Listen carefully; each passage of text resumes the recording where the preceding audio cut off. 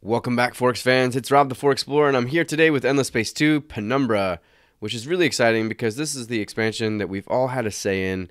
All the people that have gone on Amplitude Studios' forums and have voted for various aspects of this expansion. It's just really exciting to kind of finally see it come to fruition. So, there are a lot of things to talk about. Let's dive right in. First of all, there's two main mechanics of this expansion that have changed, or main features, I should say of this expansion that we should focus on. First of all, the Umbral Choir, who are the race that we have basically picked picked together like all these various traits and and voted on all of them and have made them who they are now. And so who the Umbral Choir are are obviously like a very dark, gaseous, weird umbral choir beings. like I don't know what to say. They're shadowy figures, but they're very cool looking. Um, they are the uh, they start as a democracy, so that's important to know. Their main faction affinity is called In the Shadows, which means they possess a single hidden home system located on a special node that can be migrated to other special nodes for a cost. They cannot colonize systems in the normal fashion, but they are able to place hidden sanctuaries on planets. They can abduct sleeper agents from enemy populations to bring them back to the home system as enhanced populations, and they are immune to influence conversion. So their but their ships can be attacked in Cold War even when on their home system. So very very unique, incredibly unique. In fact, I think it's really cool for those that are also familiar with Endless Legends new expansion called Symbiosis. That Amp- Amplitude Studios has has done this like uh, dual faction uh, where they both are only like single city, single system factions, and it's it's just really cool because uh, they play really tall and they're both very unique, and they play very unique uh, from each other even. So it's it's just really cool. So let's talk about their empire traits. They first get a pretty big manpower, uh, you know, debuff, I should say. They get negative 75% food to manpower on systems, so that definitely stunts their growth quite a bit. They are dark matter manipulators, so they get plus 0.5 manpower from idle bandwidth when on Empire. They have an organic network, which means they get plus one maximum hacking operation on Empire. They're fledgling traders, which means their uh, their trade value sucks, negative 50%. They're Twitch infiltrators, which means they get plus 10 hacking speed on Empire. They are ghosts, which means all their ships except the big ass obliterators and juggernauts are cloaked. They're exploited sleepers, which means they get plus one bandwidth per sleeper on Empire. We'll talk more about that here in a bit. In fact, a lot of these espionage terms we'll talk about here in a minute. They both have a titanium mine and a Hyperium source on their starting system, so you get that going really quickly. They have expensive taste, so there is a 100% addition to their luxury costs on Empire. And then they're starting research topics are xenobiology, planetary la- landscaping, and then they have haymakers, which is their assimilation trait, um, which we won't really need. You know, from assimilation, uh, they get plus twenty five percent food and plus twenty five percent. Okay, yeah, plus twenty five percent food on ecstatic and happy. So, with all that being said, that is the Umbral Choir. They sound pretty awesome. Their their intro video is amazing. I don't want to spoil that for you, so I didn't I didn't I purposely didn't record that. But their voiceover work is also very good. Sounds very uh, like it would just deep and as you'd expect a gaseous, weird, uh, like super alien life form to be. So I like it a lot. It's well it's well done. Let's talk about the hacking stuff. So first of all, this was my original starting location. As you can see, it looks super unique. That's because they have these like weird crescents that they uh, they inhabit on special nodes. So this special node is clearly what is it? Uh, it's a collapsing star. It gives me plus 50, which is just huge. Plus 50 influence, which has obviously uh, led to me led me to having quite a bit of influence. But these guys they colonize these special nodes and they then send basically they hack inhabitable planet systems and then start sanctuaries. I hope this is I'm trying to make this as easy to understand as possible. So what happens is you go through your new your your economy scan, your trade scan, or whatever you call it, and you start hacking operations from any of your systems that you own. In this case, when I first started, I started hacking operations from this particular system, and you can hack systems that you can a either inhabit, b that are other special nodes, c are minor factions, d are pirate lairs, or e are other factions uh, systems. So I don't know why I went the letters there, but it, it happened. So basically, any special system you can hack, and each system that you hack has a variety of options based on what kind of system it is. So I sent my first hack to this system here, which was an inhabitable system for me. So it actually led for me to uh, establish a sanctuary here. So I have a sanctuary here. I don't have any people here because I'm not sending any of my population to this destination just yet. I'm actually sending them to this place.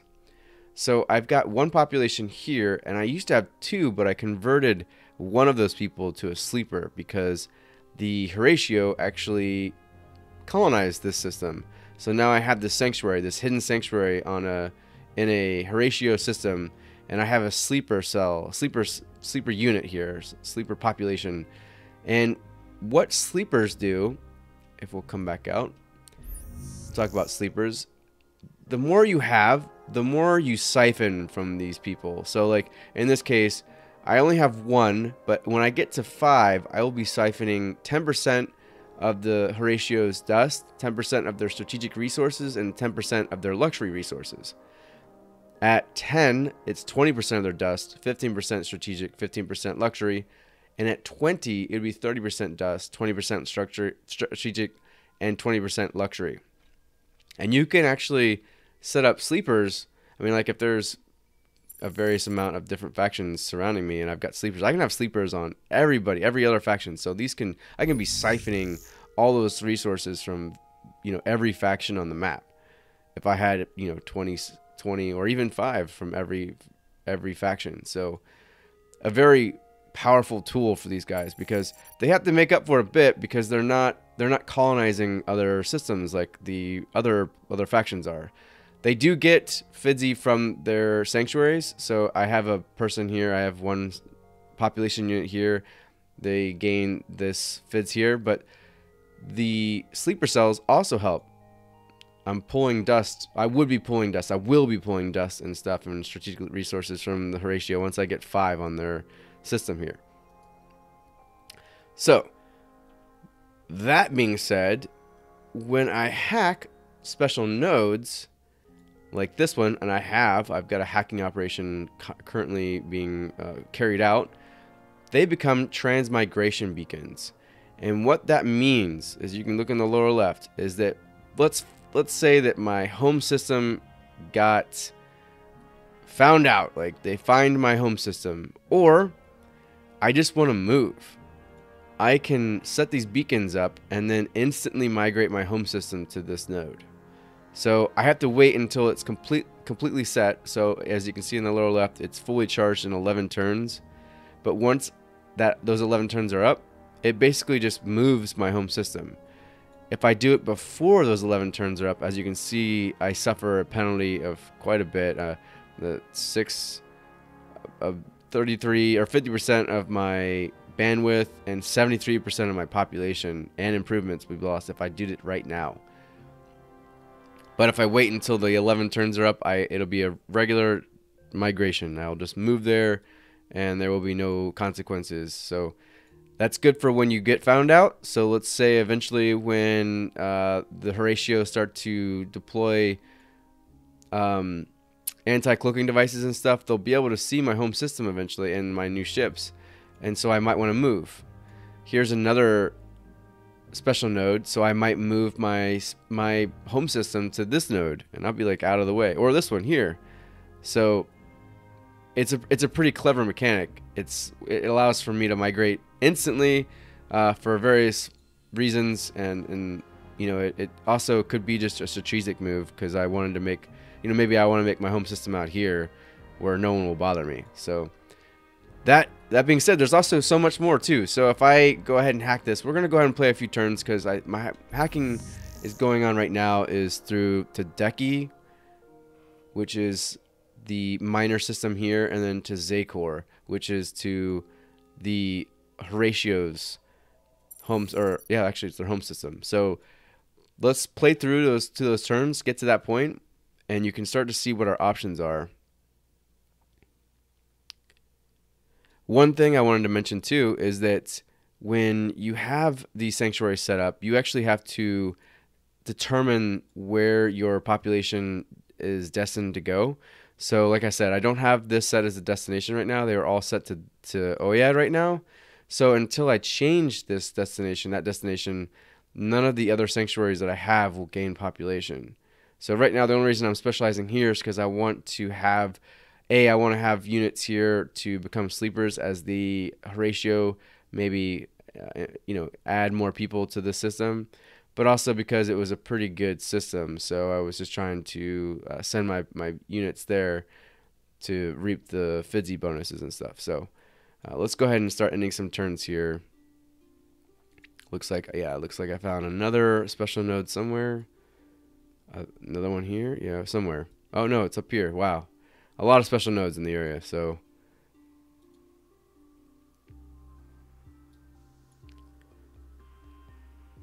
All right. So, like I said, we're just going to keep playing through some of these turns.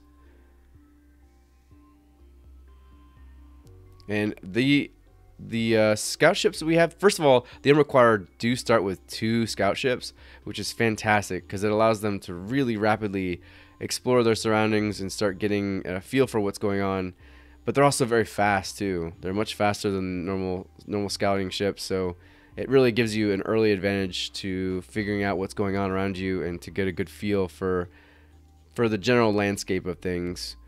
Um, should be close to. Here we go. Let's finish that, but we should be close here. So we're two turns away from Decky. Looks like they've actually got a.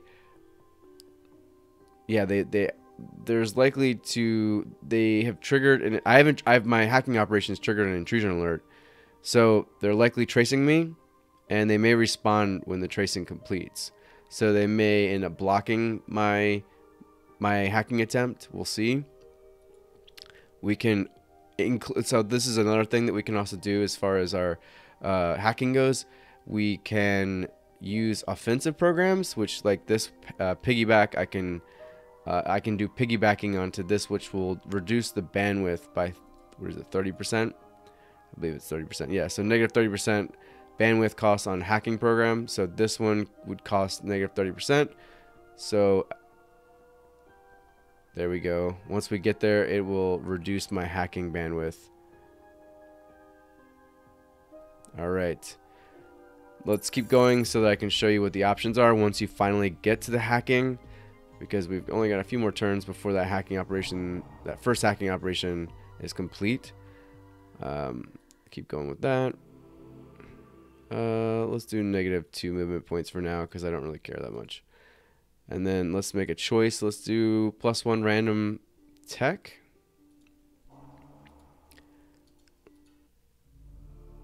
All right. I wish that you would actually know what the random tech is. You have to go through and look.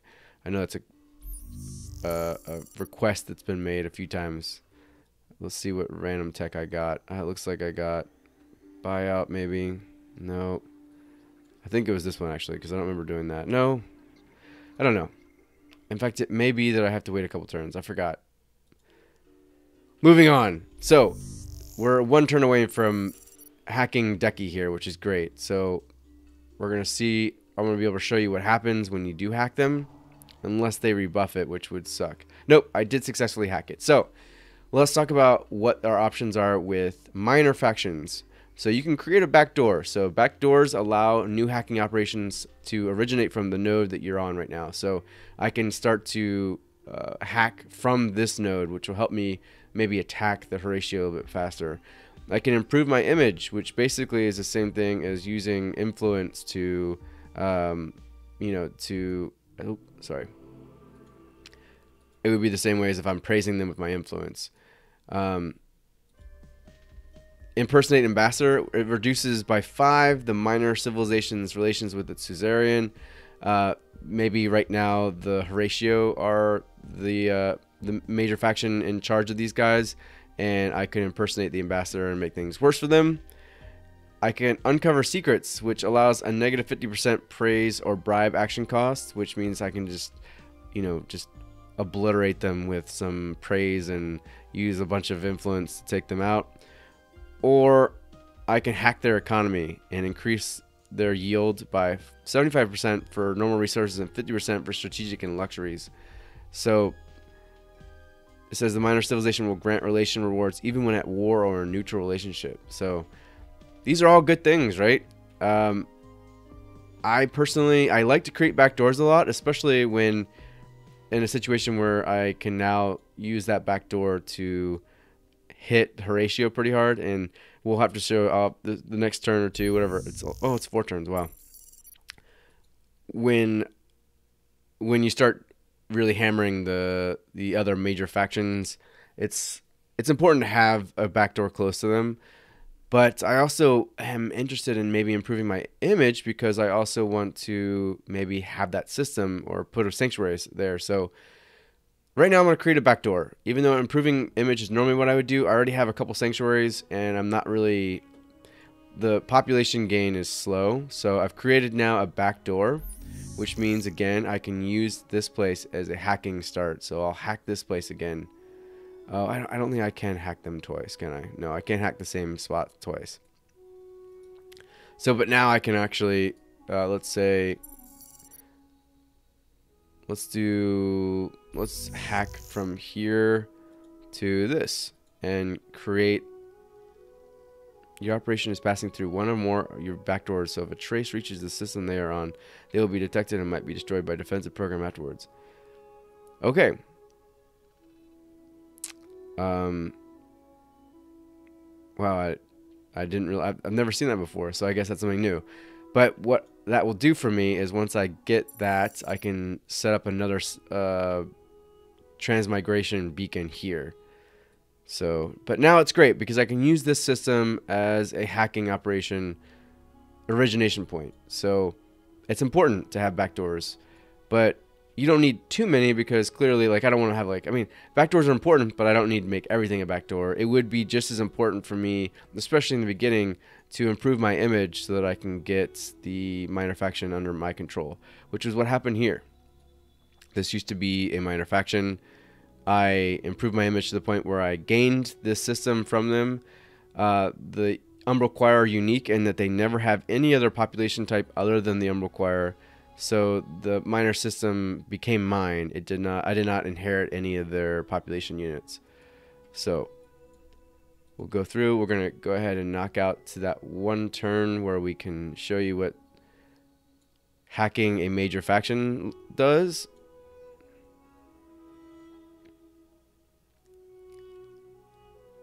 Now, uh, if you guys have seen my Endless Legend Symbiosis uh, video, my overview video, then you would know that I said that they were kind of a slow burn, and it's very similar with these guys actually.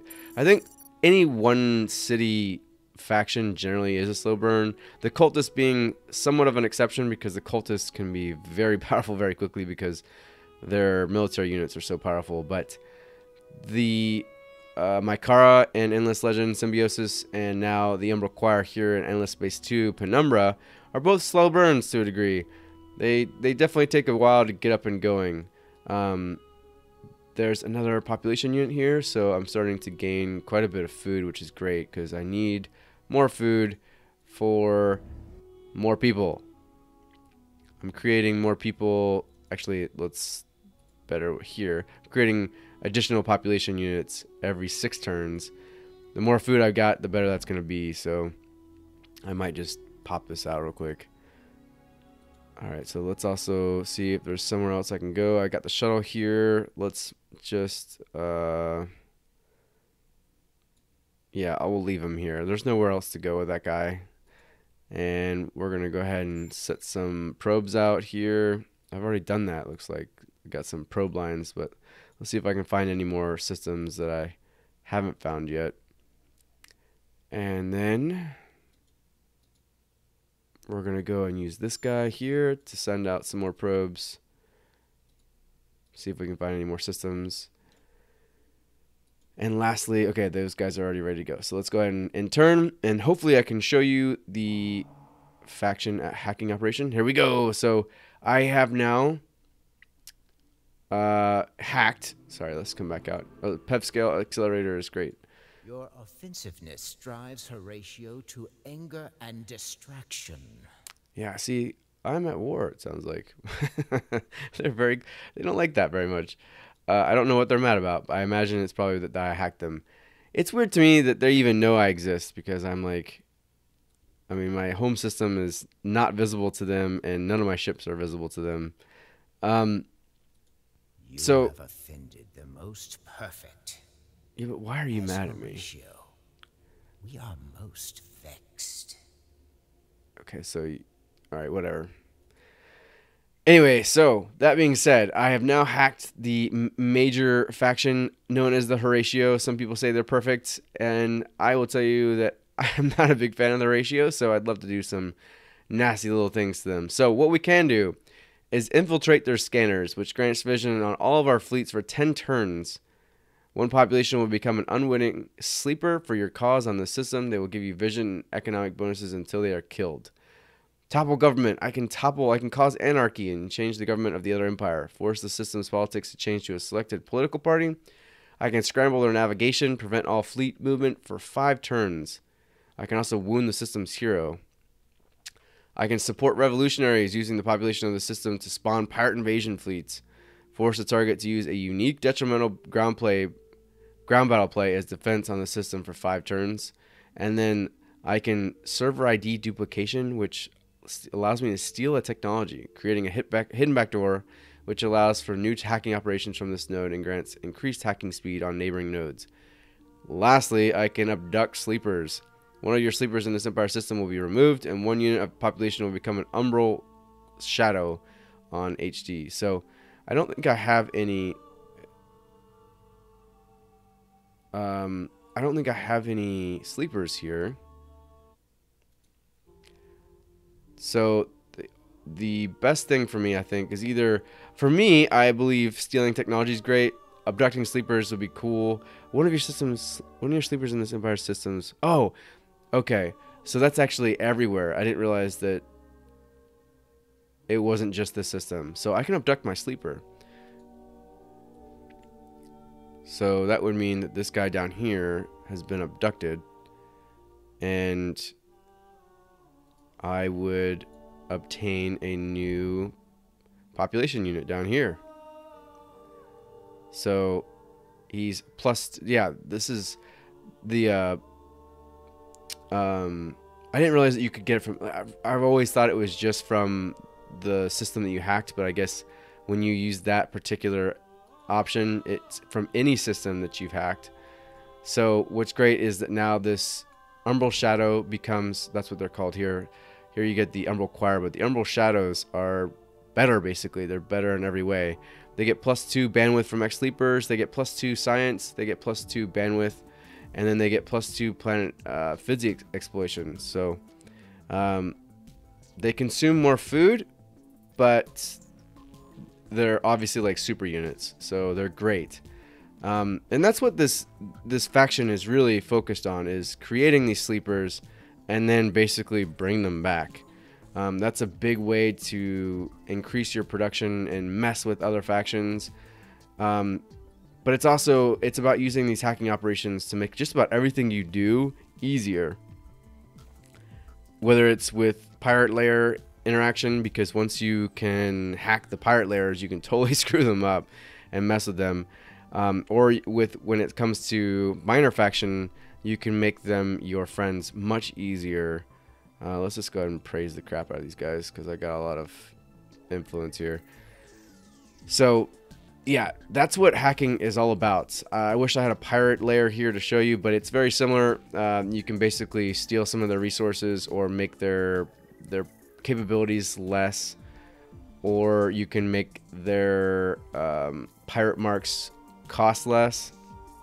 But yeah, the hacking operations are fantastic. They're a lot of fun, And with the Umbral Choir, they really mess up other factions, and it's a lot of fun to just like sub- subvert, subversively like just ruin people, and at the same time, you know, expand yourself in ways that are very shadowy. So let's take a look at the hero because I think the hero looks awesome.